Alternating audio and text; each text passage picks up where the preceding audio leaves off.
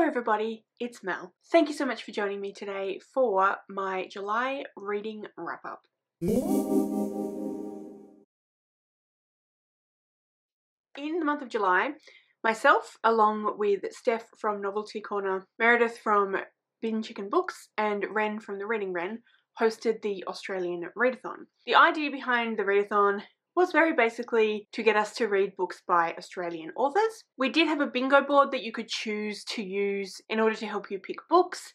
Um, you could do just a bingo, you could do the whole board as a blackout, however you wanted to do it, or you could just read one book written by an Australian author and you will have participated in the readathon. I will pop up the bingo board just here. I did complete the bingo board, just, and I'm really only able to say that because one it's not technically a DNF. I haven't decided I won't ever finish it, but I was about halfway through when the month ended and I was enjoying it, but I kind of wanted to pick up other things. Um, I will probably go back to it, but in this month in August, it is the Pick Pong Athon Readathon hosted by Crystal at Bon Book Reviews. It's a competitive based readathon, unlike the Australian readathon, and I really want to help my team get some points. So I've put that one on hold for now. But anyway, so the bingo board is up here. I've also got it in my journal, so I will be looking at that. But starting on the far left hand side, we had Animal on the cover. For this book, I read, for this prompt even, I read The Bookbinder of Jericho because there are little butterflies on the cover. I mean, technically they are paper butterflies, but I'm still counting it. And then next one along was LGBTQIA plus rep. For this one, I read The Invocations. And then the next one along is your favourite genre. Now, I did double up quite a bit in order to complete this, this bingo board, which you were allowed to do. So for that one, I also included the invocations for your favourite genre. I don't know, it's urban fantasy, witchy kind of book, so I'm counting it as my favourite genre. I'm not sure how really fantasy it is, but I really enjoyed it, so. then we have the next one along, well the next one down along, First Nations author. And for this one I read After Story by Larissa Behrendt. Then in the middle, Free Space, and I just decided to go with do something Australian, so I ate Vegemite on toast, a very Australian thing that I actually do quite often, so it wasn't particularly amazing, but anyway. Next one along we had A Coastal Setting, and for this one I read The Deep by Kyle Perry. Um, number seven, Red on the Cover, and for this one I counted After Story, again by Larissa Behrendt.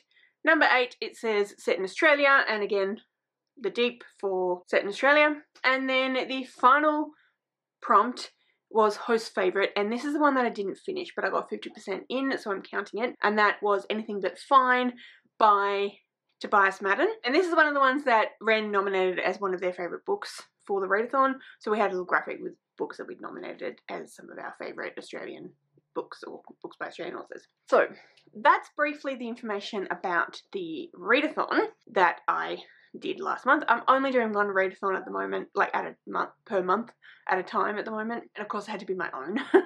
so we had the Australian readathon. I just went for a walk and got myself a smoothie from Boost Juice. Um, so, excuse me. Moving on now to stats for the month of July. In July, I read, I've written here that I read five books. I don't actually know if that's true. Let me just double check. Oh yeah, no, five books, well, five and a half books. I have only counted the books that I finished in my page count. I probably should have counted the other, but I was listening to an audiobook and I find the trans translating from audiobook hours to finished to, to pages kind of a bit tricky. So anyway, I read 1,808 pages. Again, teaching books, none this month. I read three books that had LGBTQIA plus rep. I read two books that were written by BIPOC authors. I read four Australian books, four books by Australian authors, one book by an Australian Indigenous author. None of the books were translated from another language into English, and none of the books were not inspired by European culture, theories, ideas, etc. In terms of the format of the books, I read all of them physically, so I didn't read any ebook or audiobooks this month. Um, one of them was a YA book, none of them were middle grade, and four were adult. I didn't read any comics, graphic novels, or manga. I did read two books from my own TBR. One was a reread, Alright, in terms of genres, I had one fantasy, I had no historical fantasy, I had two historical fiction, I had no sci-fi dis slash dystopian, I had no paranormal slash fabulism, one contemporary slash literary, no romance, no dark mm-hmm. academia mm-hmm. horror, horror or gothic. I had one thriller mystery, didn't read any non-fiction, didn't read any classics. I didn't DNF anything, which was very nice. I didn't have any two stars. I had one three star, three four stars, and one five star. In terms of my ratings, for star ratings, I had 4.3 as my average, and for CAWPILE, I had 8 as my average, which is pretty amazing, I have to say. I think I'm doing really well this year with ratings of picking books that I'm enjoying. Okay, so, what I always do when I am going through and telling you about the books that I read, I, sorry, that's just me mixing up my smoothie.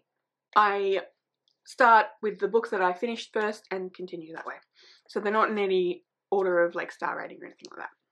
So, the first book that I read in the month, or that I finished in the month of July, was After Story by Larissa Behrendt. Now, I have talked about this a bit recently. I recently put up a reading vlog, which is the third in a theme of reading vlogs that I've been doing this year, where I choose one booktuber and choose a few books that they have inspired me in some form or another to read.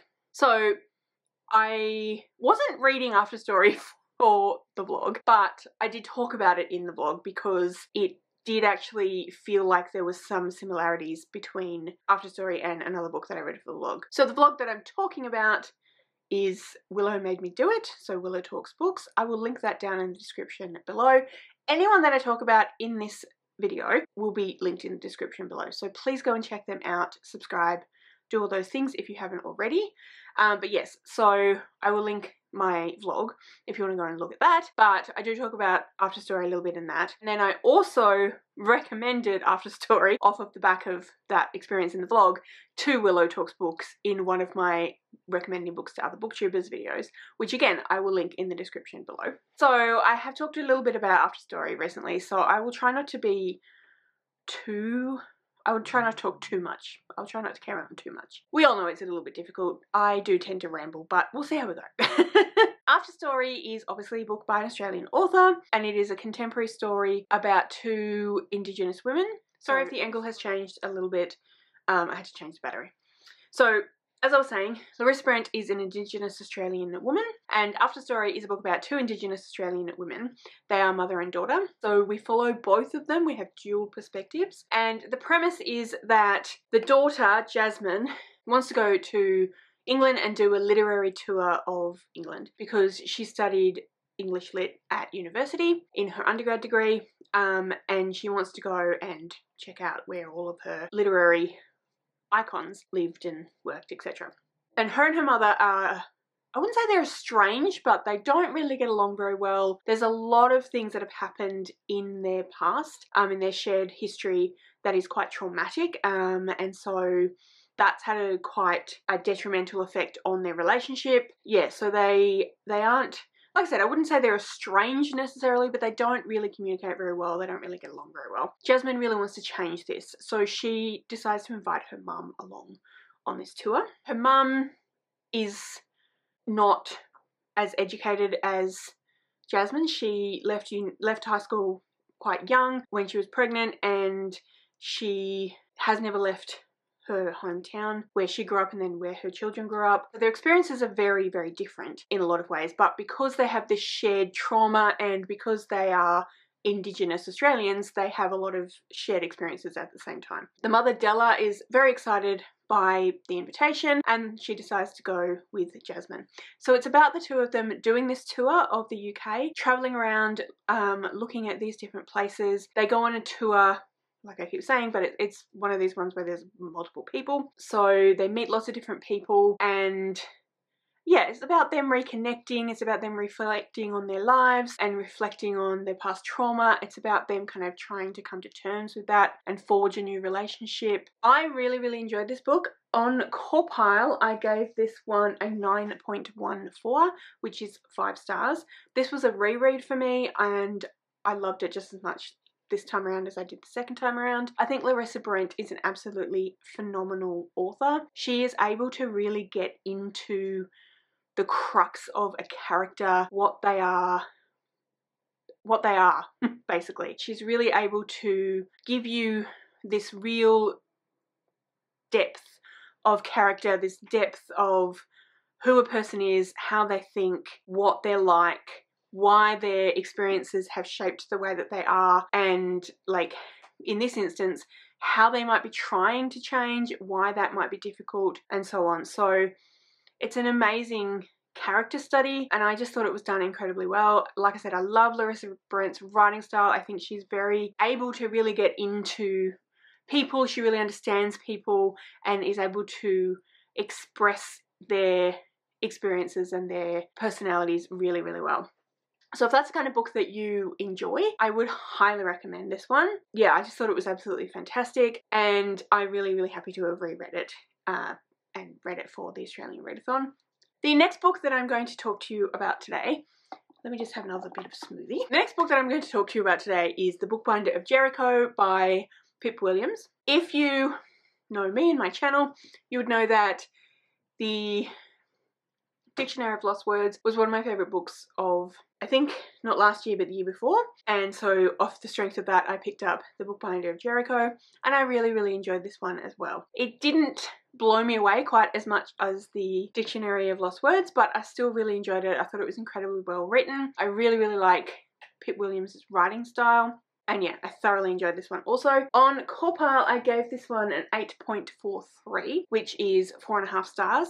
So this book is written in the same time frame and same area of the world as the the Dictionary of Lost Words. So it is based in Oxford in the time of the First World War. Yeah, early 20th century. We follow mostly Peggy, um, but we also pick up on, there's lots of different characters and we pick up on lots of different stories around Peggy. Peggy is a young woman who lives with her sister. Her parents are gone. Her sister has a mental disability. Uh, it's never explained what that is, but she she has some difficulty with learning um, and communication. And so Peggy feels like she has to look after her sister.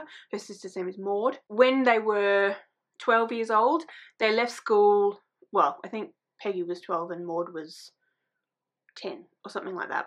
They left school and they started working with their mother in the bookbindery, which is part of the um, Oxford University Press. But Peggy has always wanted to go and actually attend Oxford University and get a degree, but she's never felt like she was able to do that because she needed to be there for Maud, especially when their mother died. Although Maud works with her, Peggy feels that and has always acted as though Maud needs her and is is not really capable of looking after herself. Throughout the book you discover that actually Maud might be more capable than anyone thinks, particularly Peggy. But like I said, we follow a bunch of different characters. So like it's from Maud's perspective, but we follow a bunch of different characters. So we follow, oh, sorry, it's from Peggy's perspective. We find out more about Maud.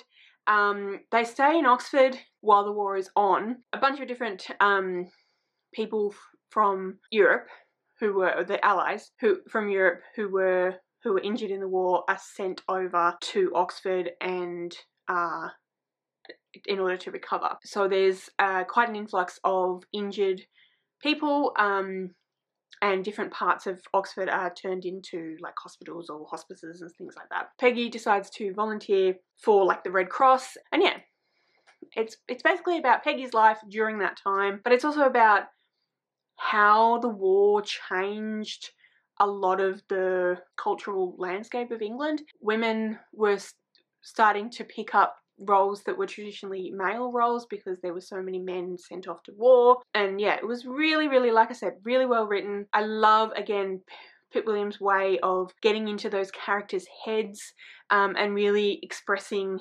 incredibly interesting characters and the experiences that they go through and how the different experiences of different people in the same situation, how different people respond. And I just thought it was really, really interesting. I thought it was really well written and I thoroughly enjoyed falling into this world. Next up, I'm going to talk to you about The Deep by Kyle Perry. So this one is a mystery thriller. This one is very twisty and very turny. It actually takes place in Tasmania, where I'm from, which is the, if you don't know, the uh, smallish island off the very bottom of Australia. And we follow a range of different characters who are all part of this family who run a drug ring. Um, at, out of Hobart. Yeah, there's a lot going on in this book. I don't really know how to kind of tell you the synopsis without spoiling anything, but many years ago, before the book starts, one of the the the wife of one of the sons of this drug family, her and their child go missing, and no one knows what happened. Their bodies were never found. A lot of people suspect that the husband got rid of them somehow, but he's disappeared as well. And we opened the book with the son suddenly appearing. And this opens up a whole bunch of new questions. And from there, we start to follow the various different members of the family uh, who are involved or were involved in the drug business. When this happens, um, when this boy turns up, he's not really a boy anymore. I think he's like 18 or something, or maybe even 20 or so. One of the other brothers, the one of the brothers of the his father, goes um, missing as well. And so there's big mystery going on, and no one really knows what's happening. And so we're starting to ex explore this family and what their various relationships are like, who might have done what, what happened in the past, what's currently going on, all of that sort of thing. This was very twisty. There were a lot of things that you thought would, ha- would ha- was happening or you you were led down one path of thinking that that was the answer to this question and then you'd find out that actually it wasn't. Yeah, I quite enjoyed it. I gave it an eight, a 6.86 on CAWPILE, which is a three and a half stars. So I did really enjoy it, but it wasn't like an amazing book. It didn't blow me away or anything like that, but I did enjoy it. I had a good time with it. I read it while I was um, on a little reading weekend away with my friend Michelle, and that was really, really fun. And she had already read it, so I borrowed it off her. And it was really fun because every now and then I'd be like, oh my god, this just happened, or I think it's going to be this. And yeah, um, I had quite a few guesses, some of which I did get correct, and some of which I was totally off. But I was pretty proud of myself with a couple that I did get correct because of the way the twists were written. It was very much one of those sorts of like, you think you know what's going on and then suddenly it's not quite what you think at all or very misleading. I don't think I will say any more than that, but I do think that if you enjoy thrillers, um, I think it's worth a read. I think you would find it really interesting. Lots of twists and turns, but very well written twists and turns. Definitely worth a read if that's the kind of thing that you enjoy. Then we have the only book that I read that wasn't by an Australian author, and that is The Remains of the Day by Kazuo Ishiguro. This one was one of the books that I read for that vlog I mentioned earlier, Willow Made Me Do It. So if you want my full kind of thoughts as I'm reading the book, highly recommend that you go and check that vlog out. This book is the one that I compared to After Story by Larissa Behrendt. The reason for that is because it is following someone who is going on a tour around areas of the UK and reflecting on their lives. In this instance, we are in the 1950s, I believe, from memory, and we are following, I can't remember the his name. Um, we're following a man who is a butler, and he has worked at this one house for most of his career. His new employer, the house was sold um, to an American, and his new employer offers him the opportunity to go on a tour, driving tour using his car around the south, south of England. After a little bit of thought, the butler decides to go ahead and do that. The owner of the house will be away for a while and so he has an opportunity to leave the the leave the house and go and and do this driving tour. And while he's doing the driving tour, he's reflecting on not only his life, uh, but he's reflecting on political machinations that have happened throughout the years while he was employed. Um, so the house used to belong to a lord, um, and he can't remember the lord's name either, and he was privy because he's the butler he was privy to a lot of kind of secret things that were going on during the lead up to the first world first world no second world war the lord was very invested in politics and was trying to steer the war and particularly the aftermath of the war, the Second World War, um, trying to steer England in certain areas but also parts of different parts of Europe as well, different powers in Europe. So the butler's reflecting on those things that he was privy to, as well as his own experiences as a butler. He's reflecting on the role of a butler. He's reflecting on the English concept of class, the English concept of honor, the English concept of like the the lords lordships and and what makes a good man, what makes a good butler, but also what makes a good man, what makes a good person, whether or not someone who is given like born into this role of lordship, whether you can assign any amount of um, moral goodness to that title and whether the people live up to it. There's also a little bit of a kind of a hint of a potential relationship, potential um, romantic relationship for the butler in there as well, and he reflects a little bit on that and his relationship with the previous employee of the house. And yeah, it's a lot of that sort of thing happening in the book. Initially, I found it really difficult to get into.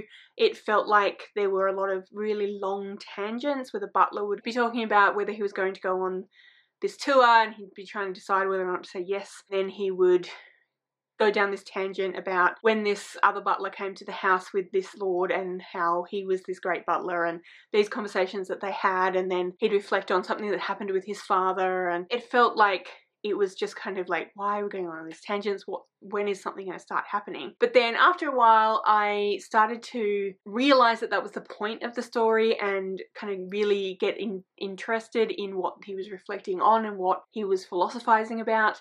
Um, and I ended up really, really enjoying it. I gave it a 7.71 in CAWPILE, which is four stars. So I think the writing was beautiful. I really do think that Kazuo Ishiguro is an amazing author. The way that he was able to write these reflections and this butler reflecting on all of these different concepts, these different philosophical concepts, these political concepts, as well as his own experiences and, and thoughts and feelings was really, really well done.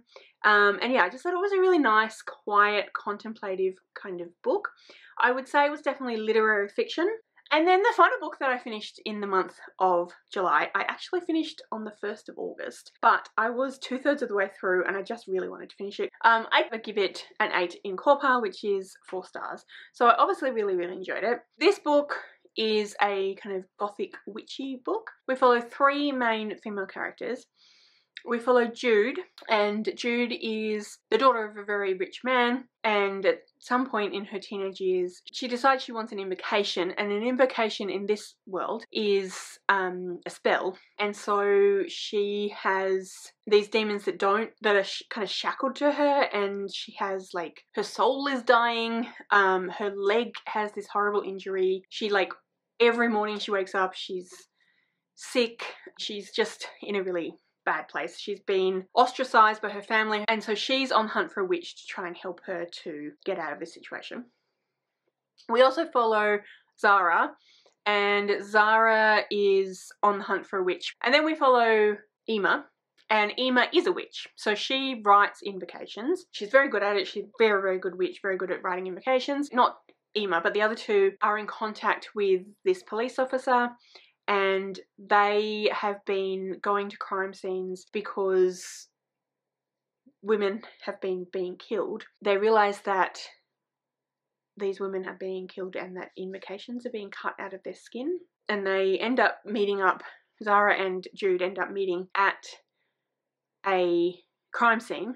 They hadn't met before and they meet up at this crime scene, get introduced to each other, make this realization and then realize it's the same person that's been writing the invocations. They track them down and that person is Ema. Um, and the three girls team up to try and solve the mystery of who's killing these women. That's all I'm going to say. A lot happens in this book.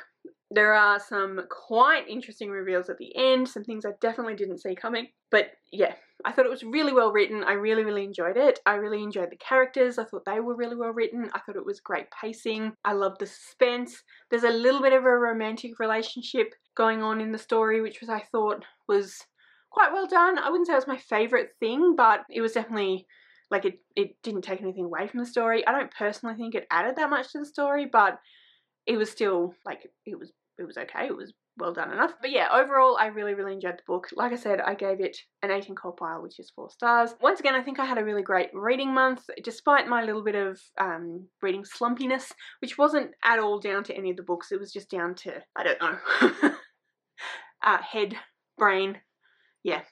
But anyway, um, those are all the books that I read in the month of July. Like I mentioned before, I did have another book that I'm halfway through, but I will talk about that when I get around to finishing that book. So at some point that will appear in a wrap up. But anyway, that's everything I want to talk to you about today. Let me know in the comments below, have you read any of these books? What did you think of them? How did you go in July? If you'd like to leave me a comment but you don't know what, then leave me a little butterfly emoji because of the little butterflies on both After Story and the Bookbinder of Jericho. All of my social media details are listed in the description below, so if you'd like to go and follow me on any of those other platforms, please feel free to do so. Thank you so much for joining me today. I really hope you enjoyed this video. If you did, I would absolutely love it if you would subscribe to my channel and give this video a thumbs up. And yeah, like I said, thank you so much for joining me today. I really hope you enjoyed this video and I will see you next time.